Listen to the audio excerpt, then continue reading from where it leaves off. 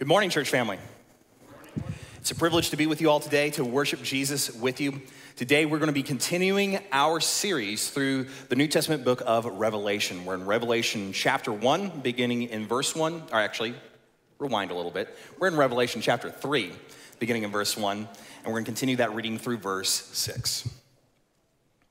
And to the angel of the church in Sardis, write the words of him who has the seven spirits of God and the seven stars. I know your works. You have the reputation of being alive, but you are dead. Wake up and strengthen what remains and is about to die. For I have not found your works complete in the sight of my God. Remember then what you have received and heard. Keep it and repent. If you will not wake up, I will come like a thief. You will not know at what hour I will come against you. You still have a few names in Sardis, people who have not soiled their garments, and they will walk with me in white, for they are worthy. The one who conquers will be clothed thus in white garments, and I will never blot his name out of the book of life. I will confess his name before my Father and before his angels. He who has an ear, let him hear what the Spirit says to the churches. This is God's holy word. Thanks be to God. Let's pray together. Almighty and everlasting God, thank you for the gift of your holy word. I pray that your Spirit would give us eyes to see Christ, give us ears to hear his voice, give us hearts that respond with faith, with loving worship, and obedience to your word. And Lord, as we gather for worship on this day, we are also very mindful of the suffering that our region has experienced this last week. A fire that is the largest fire in Texas history. Lord, we pray for those who mourn the loss of life, of livestock, of crops, of livelihood, for the hundreds of families that have lost their homes. Lord, would you be to them the provider and the comforter? Would you make clear the path for many churches that are eager to help and to respond, as, as our church has already responded in some ways. Lord, we pray that you would also continue to protect our region as winds rise today. Protect us from the fire, protect us from the storm. Lord, be to us our provider and our protector. And even in this moment, allow us to understand just how dependent we are upon your grace, upon your provision, upon your mercy. It is in Jesus' mighty name that I pray these things. Amen. Amen. You can have your seat this morning. In the year 1891, the British playwright and poet Oscar Wilde wrote his first and his only novel. The name of that novel is The Picture of Dorian Gray. Now, the picture of Dorian Gray begins as a pretty simple story a story that recounts the life of privilege and leisure of London aristocracy in the Victorian era, towards the end of the 1800s. But slowly it begins to devolve into a tale of supernatural horror. The novel's first scene depicts this up and coming artist painting a life size portrait of a wealthy young Englishman named Dorian Gray. Now, Dorian's outward appearance is almost overwhelmingly handsome. All who come in contact with him are at once enchanted with his striking looks, his youth, his polite dignity, and his personal charisma. And the painter yearns to somehow convey and translate all of this of who Dorian is into this painting.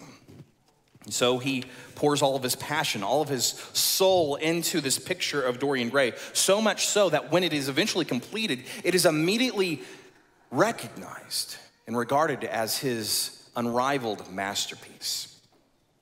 Even more than capturing Dorian's appearance, this artist has somehow been able to magically capture his very essence. Before the story begins, Dorian Gray is a man characterized by spending much of his time, much of his money on helping the underprivileged, by engaging in funds for social good and helping those who are essentially poor in London society. But then Dorian falls under the influence of this very wealthy British lord.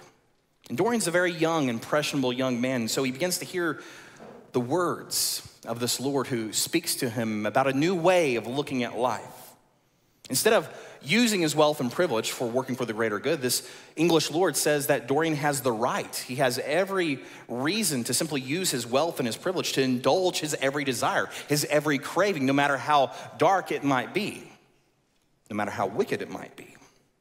And so Dorian eventually succumbs to his very worst temptations. He falls further and further into acts of cruelty, following his every whim, his every impulse.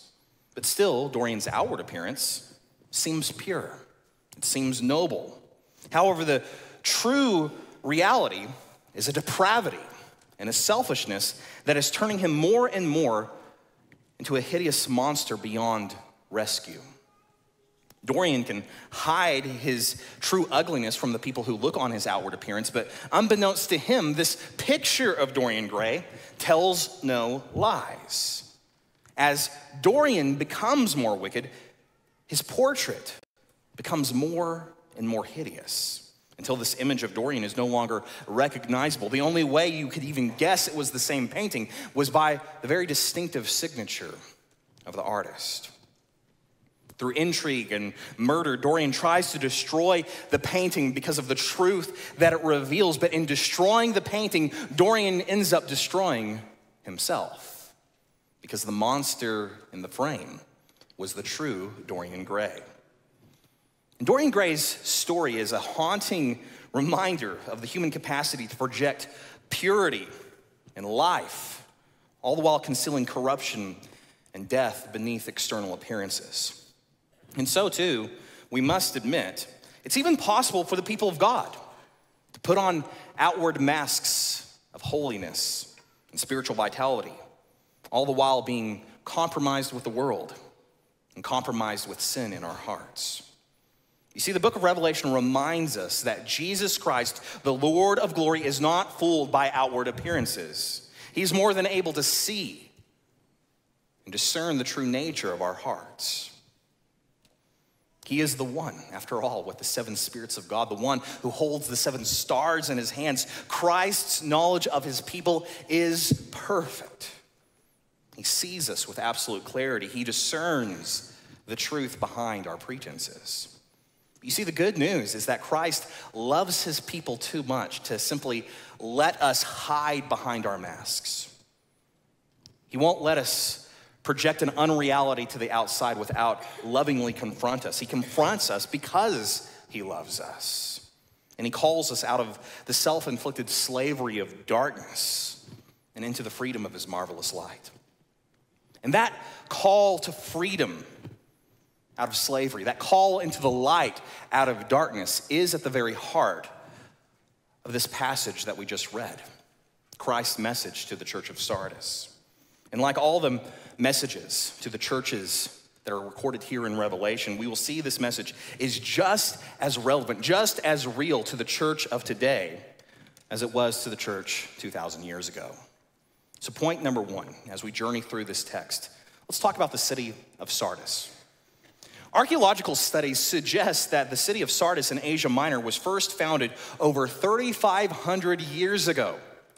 That is a very, very long time for humans to be settled in one particular place of the earth. That means at the time that the Apostle John is penning the book of Revelation, the city of Sardis was already a deeply ancient place. Its legendary founder was the Greek hero Hercules. It's a city that is even older than the exodus of Israel from the land of Egypt. And Sardis was also a very wealthy city. It was nearby a river that had massive gold deposits. It was also surrounded by fields that were very fertile, perfect for agriculture and farmland. And so the community of Sardis began to become very wealthy, and they wanted a way to store their wealth and to protect their wealth from anyone who would want to take it away from them. And so they built for themselves this mighty citadel on top of a very steep mountain that was at the very center of their city. This citadel of Sardis was viewed as the strongest place in the ancient world. Was, you can almost see it as an ancient equivalent of Fort Knox in the United States, the place where the United States of America stores all of our gold reserves. This was safe, this was secure, and behind the walls of this very strong stronghold, the citizens of Sardis felt very safe. They felt very comfortable. They probably even grew in a little bit of pride. But everything changed when King Cyrus of Persia began his conquest, his military invasion of Asia Minor around the year 547 BC. The Persian armies swept through Asia Minor like a destructive whirlwind. And initially, the city of Sardis was not going to be conquered. They were able to withstand, to hold off the invasion. The people of Sardis simply retreated into and rested behind their strong fortress walls while the Persians laid siege to the city that was below.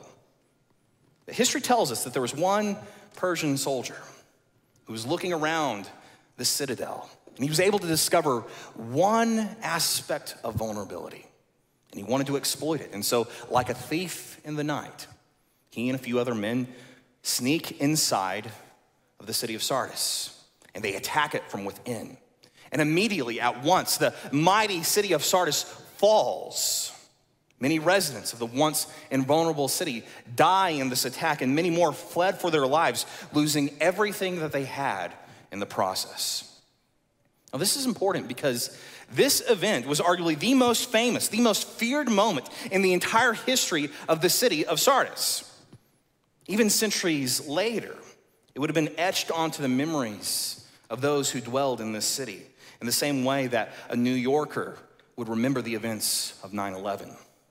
And I do believe that there's a crucial connection between this historical event and Christ's message to the church of Sardis. Jesus is saying here in Revelation chapter 3 I know that you think you're safe behind the wall that you have built for yourself, but you're more vulnerable than you realize.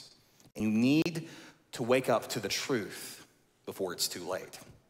And that leads us to our second point, which is Christ's challenge to the church of Sardis. Like the ancient people of Sardis, the church of Sardis had apparently built a wall to protect themselves. Only, unlike their ancestors who fell to the armies of Persia, the Sardian church's wall was not a wall of brick and mortar, it was instead a wall of religious appearances and spiritual pretension. The Christians of Sardis knew how to look spiritual and devout. They knew how to talk the talk. They knew how to go through the motions that looked like sincere worship. And apparently, they were so effective at doing this, they could even fool many people because they even had a reputation for being a church that was very alive, very vital. But Christ sees the reality of this church with perfect clarity and he will confront them with the truth of what he sees. He says to the Christians of Sardis, I know your works. You have the reputation of being alive, but you are dead. Wake up and strengthen what remains and is about to die, for I have not found your works complete in the sight of my God.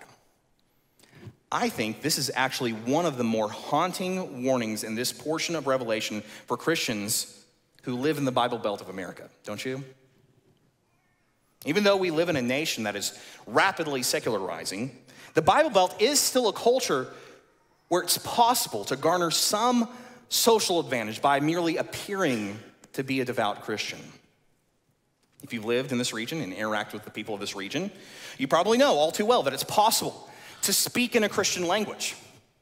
It's possible to curate and cultivate for yourself a Christian image that you can project on social media and through your interactions. It's possible to place Christian symbols strategically throughout your place of work and business, all the while having a heart that is absolutely cold and dead toward God.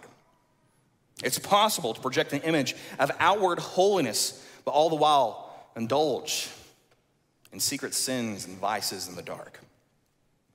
But you see, I think it would be too easy, too convenient to merely reduce this message to the Christians of Sardis as a message primarily to individuals. No, we have to remember that Christ's message is not to just individual Christians, it's to a church. It's to a congregation, an entire community of faith. Thus, we have to understand what's so haunting about this message is that it shows us that it's possible for churches to become environments that cultivate the pretense of Christianity rather than the practice of Christianity. It's possible for churches to become places that actively encourage hypocrisy rather than encourage holiness. And any church, any denomination, any theology that cares more about appearing Christian rather than being Christian is in desperate need of the word of Christ that is spoken to the church of Sardis. Because you see, the word of God is calling us commanding us to work hard to push against the gravity of a culture that cares so much about external appearances. We must intentionally create a counterculture, an environment of honesty and safety. We want to cultivate an environment where we are actually free to confess our sins to one another. We're con- able to confess our shame and our failure. And instead of receiving rejection and condemnation, we receive grace and mercy and prayer and healing. With all of my heart, I pray that Redeemer Christian Church can be such a place, don't you? A place where you can find friendship and fellowship, a place that you can experience that type of safety that only the gospel of Jesus Christ can create the safety to be truly honest, truly known, and truly loved. Because you see, pretend Christianity might impress some in the outside world, but pretend Christianity does not impress Jesus. In fact, Jesus hates and stands in opposition to pretend Christianity with the righteous wrath of God. Because spiritual pretending is not spiritual life. Jesus exposes it for what it really is it is death with the appearance of life. It is the handsome Dorian Gray that conceals a horrid monster within. It is an undead zombie, an unnatural perversion of what the church is meant to be. Christ's command for his people is to wake up from their sedation to the reality of what is at stake, to be vigilant. He calls them to remember and to keep and to hold the word of the gospel that has the power to save us and sanctify us to fan into flame any remaining ember of true faith and sincere passion for God, to repent and turn away from hiding in the darkness and instead walk in the light before God and before one another.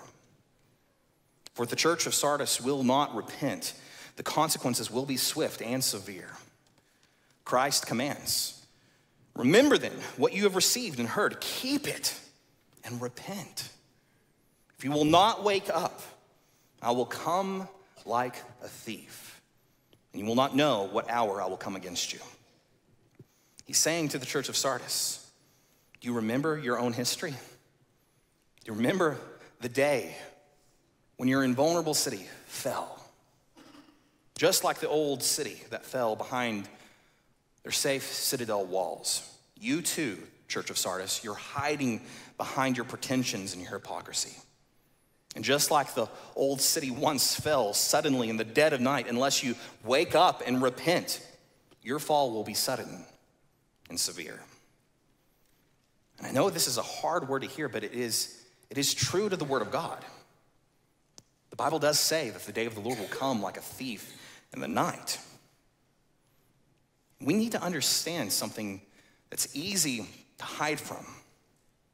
It's not safe to hide secret sins from a God who sees everything, right? Jesus himself told us that for nothing is hidden that will not be made manifest, nor is anything secret that will not be made known and come to light. It's a very counterintuitive truth, but I need you to hear this and grasp this today. We are safest when we are walking in honest and open confession before the Lord, ourselves, and one another. I know we're afraid to go there, but that's actually where we're safest.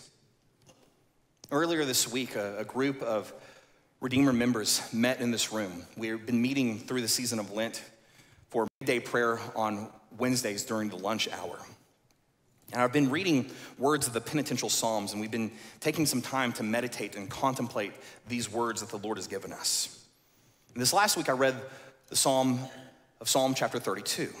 It's a passage that shows us two critical truths. It shows us that hidden sin destroys us from the inside out. But it also shows us that in confession, we find healing, we find forgiveness, and we encounter the steadfast love of God. The psalmist sings, Blessed is the one whose transgression is forgiven, whose sin is covered. Blessed is the man against whom the Lord counts no iniquity, and in whose spirit there is no deceit. For when I kept silent, my bones wasted away through my groaning all day long. For day and night your hand was heavy upon me. My strength was dried up as by the heat of summer. I acknowledged my sin to you, and I did not cover my iniquity. I said, I will confess my transgressions to the Lord, and you forgave the iniquity of my sin. Maybe you're in this place and you've never confessed your sins to the Lord. You've never said, Jesus, I, have messed up. I don't just like your teachings, I need you to save me. Here are my sins, I need your grace. Maybe you've never done that. Today is a day to give Christ your sins so that you can receive his grace. Maybe you've been a Christian for quite some time, but you've slowly stumbled into this disconnect between what you're struggling with on the inside and what you're projecting to everyone else on the outside. Today might be the day where you need to find the healing grace that you have been hiding from way too long. Point number three Christ's encouragement to the church of Sardis. This is a really convicting passage, but maybe for some of you, you read this passage and your emotional response is not shame or conviction, it, it's more of a sense of anger. Maybe you read Christ's word to the church of Sardis, and all you can see is the church in America.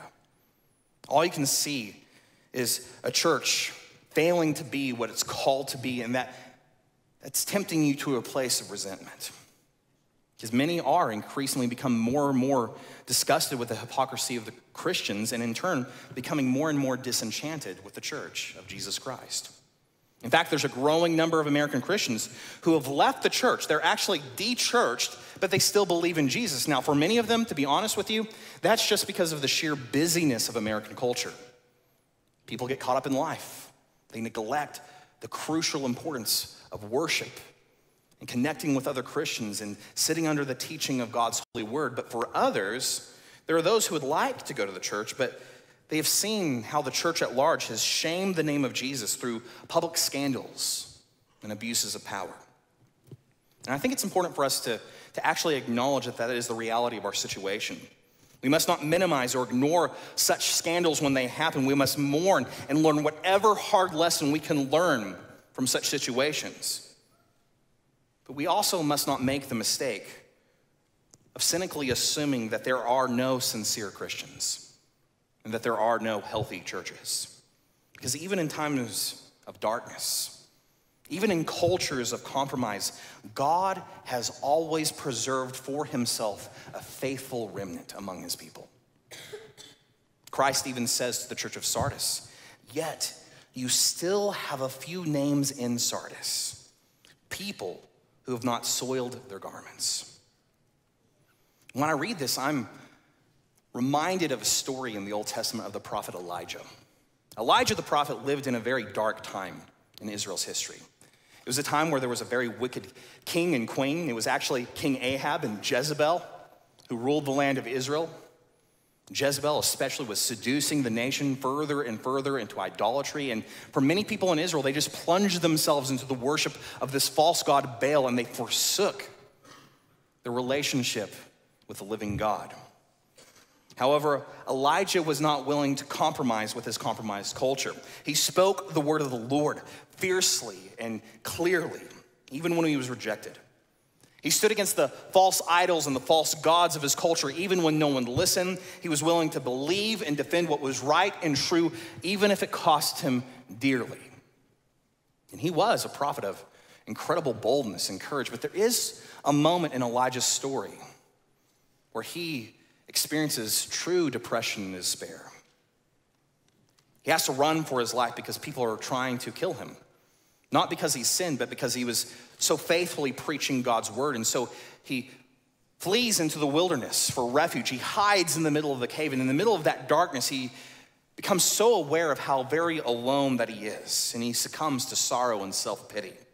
He believes with all of his heart that every other faithful prophet has been murdered, and that he is utterly alone. So he prays to God sincerely God, take my life from me. Here in his weakness and his despair and his hunger, the Lord feeds him. The Lord encounters him and he speaks to Elijah and he tells him, Elijah, there are still thousands of my people who have not bent their knee to false gods. Elijah, you're not alone. And so, too, I want you to know if you at times mourn the state of the church in America, and you wonder if there are any sincere Christians out there, know too that you are not alone. Even now, there are Christians all through this nation who are faithfully serving Jesus and following Jesus and clinging to Jesus with one another. Now, they're not going to make the news, the national news, the way the scandals do. But nevertheless, every week, they're volunteering to pack free lunches so that children of low income families can have food to eat over the weekend. Every day, they give their time to teach English to refugees from war torn nations. Every day they visit the elderly in hospitals and come alongside those who are in need. They give money every month so that orphans oceans away can have food and an education. And every Sunday they gather together in worship where unfamous but faithful pastors preach the word of God and administer sacraments. And such Christians are not perfect. You shouldn't believe that they are. They stumble, they fall, but they have committed to not hide in the darkness of sin. Instead, they've committed that when they stumble, they're going to stumble towards Jesus together, not away from Jesus and apart from one another. So, if you sincerely want to follow Jesus, you are not alone, and you must not convince yourself that you're alone. The answer to the hypocrisy within the church is not to leave the church. The answer to the hypocrisy in the church is to faithfully be the church. Can that be something we seek together, Redeemer? Can that be something we commit to, to seek holiness and sincerity and humility? Can we commit to chasing Jesus together? In a culture that cares so much about external appearances, may we seek to be a faithful remnant of God's people. Point number four, our fourth and final point Christ's promise to the church of Sardis. Now, I'm concerned that this is kind of a heavier word, it's a heavier message. And the text is heavy.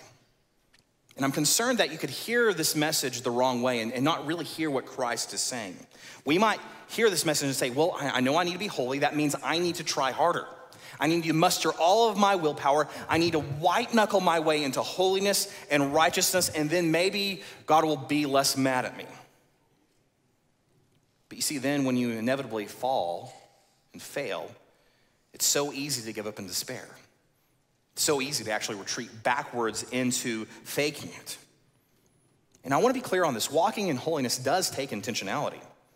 It does require us to audit the habits of our life. It requires our effort, our agency, our practice, but we must also understand that, as the prophet Isaiah told us, that even our best deeds, even our most righteous deeds, are by themselves as filthy garments before the Lord.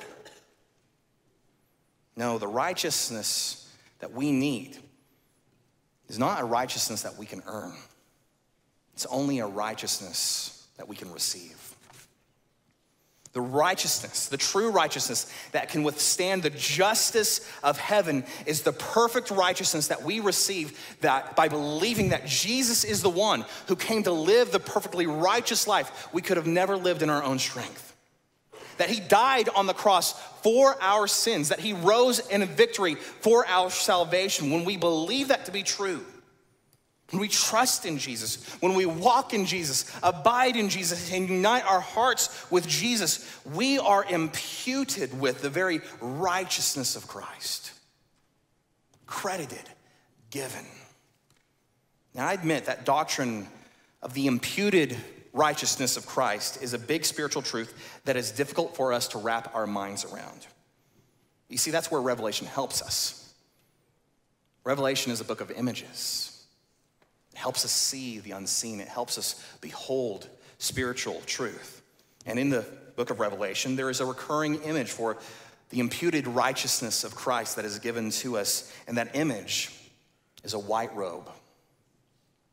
In Revelation, the white robe is a robe that symbolizes that we are holy in Christ. It's an outward display that marks God's people as perfect and pure and set apart in Christ. And to wear a white robe in eternity is to say, I belong to God. And Jesus Christ is my perfect righteousness. That's why Jesus makes the promise. Yet you still have a few names in Sardis, people who have not soiled their garments, and they will walk with me in white, for they are worthy. The one who conquers will be clothed thus in white garments, and I will never blot his name out of the book of life. I will confess his name before my Father and before his angels. He who has an ear, let him hear what the Spirit says to the churches. When we confess our sins to Christ, he will confess us before the court of heaven. The one who would have every right to condemn us instead stands as our advocate. The one who would judge us has become our justification. The one who can see the truth of our unworthiness clothes us in his very righteousness. So today, if you feel dirty, if you feel unclean, unworthy, one touch from him can make you clean. One word from him can make you righteous. There is this story found in John chapter 8 where Jesus is in Jerusalem and some of the religious leaders come to him and they, they throw down in front of him this woman who had been caught in the act of adultery. And by this point of the gospel account, Jesus has already garnered this reputation for being a friend of sinners and also being a thorn in the side of religious leaders. And so they use this woman and they use her situation to create a type of test and trap for Jesus. They bring her before Jesus and they tell him, Rabbi, this woman is a sinner. She is unclean. She's an adulteress. She's been caught in the very act of her sin. There are multiple eyewitnesses. There's no denying what she has done. And the law of God demands that such a woman and such a sin deserves death. What do you say? You tell us what to do. Now, the men who ask this question already have stones in their hands. They already thirst for this woman's blood. They want Jesus to simply say the word so that they can bludgeon her to death and crush her for her sin. Or else they want Jesus to say that her sin doesn't deserve death and that they can go and run and tell everybody else that this rabbi doesn't take the law of God seriously, that he denies the holy standards of God's righteous law. So it appears to be a very difficult situation. In that moment, Jesus does something that no one was expecting. He kneels down on the ground and he begins to write words in the dirt. We don't know what those words are. But when he stands up, he declares, Fine, go ahead and execute her. Only let the one man who is without sin be the first to cast a stone. The crowd hears it. The mob silence. One by one, beginning with older men, all the way down to the younger men in the crowd, they begin to leave their stones in the dirt and they walk away in shame because they know their own sin. They know their own impurity. The mob quietly dissipates, for each of these men know that they're not worthy to throw this first stone. They're not worthy to cast judgment upon this woman. No one is, that is, except for the one man who remains. Because Jesus is the only one without sin. He's the only one who is perfectly righteous. He is the living embodiment of the perfect word of God. He is the author of the holy law. He has every right to condemn this woman and judge her, and he knows that the wages of her sin is death.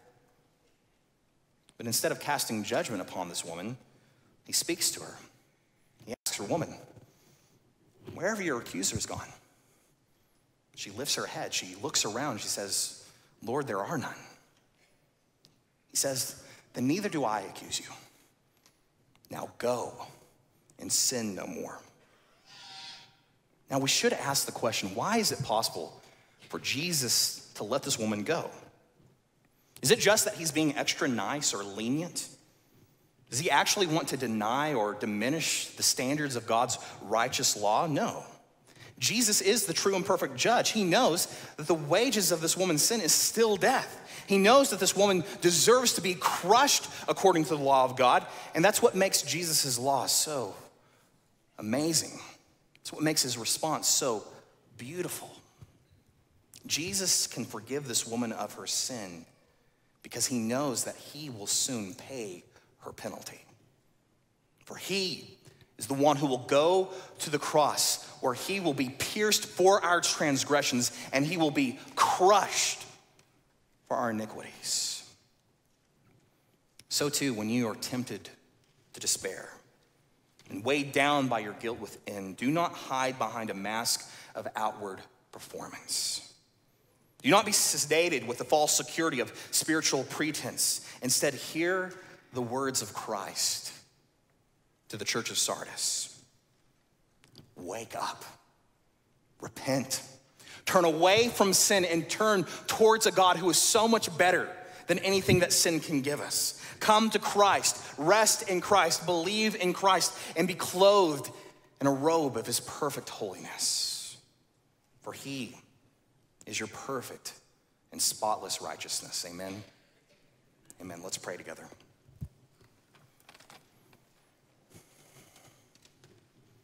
Almighty and everlasting God, thank you, thank you, thank you. That though our sins are many, your mercy is more. Thank you that when guilt weighs us down, that there's something so much better than just trying to hide behind a mask, that there is a freedom. Because we have a high priest in heaven who lives and pleads for us. He is our perfect righteousness. Lord, help us believe that. Help us live like that. Help us to have a community that defines our culture by grace and mercy and the place to walk out of darkness and into your light. So, Lord, would you have mercy upon us? Would your spirit speak to us? If there's a way that you're calling us to repent, Lord, show that to us. But Lord, I pray that as we repent, I pray that we would be so much more confident in the righteousness of Christ than we are ashamed of our sin. Lord, thank you that you've died for us. Thank you that you've risen again. Thank you that for those who believe in you, those who conquer, we will one day be clothed in white. It's in Jesus' mighty name that I pray these things. Amen.